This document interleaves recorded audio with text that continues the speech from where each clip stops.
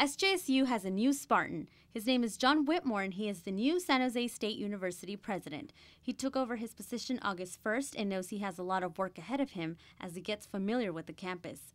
However, he says he is excited to become part of such a diverse university.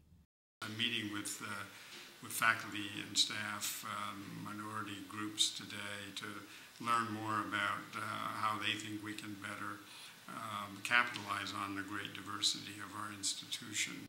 And Whitmore seems to have the experience to do so. He came to San Jose from Texas Tech University, where he had also been the president since 2003.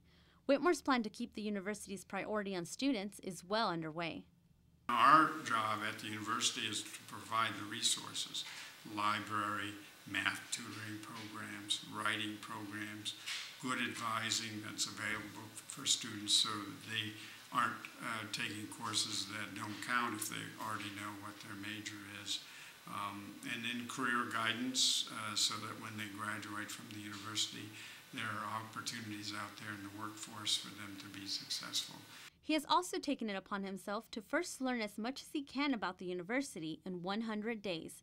He calls it his 100 day deep learning period, in which he participates in various campus events and meets with various groups. Well, I've learned uh, how very diverse our institution is in terms of the number of academic programs that we offer, uh, the diversity of the student body. Uh, coming from um, this uh, very diverse Students don't really know who he is yet, but they do know what they want in a leader. Well, obviously good leadership and the ability to like have your leadership skills and to take advice, um, but also have your only your own strong opinions.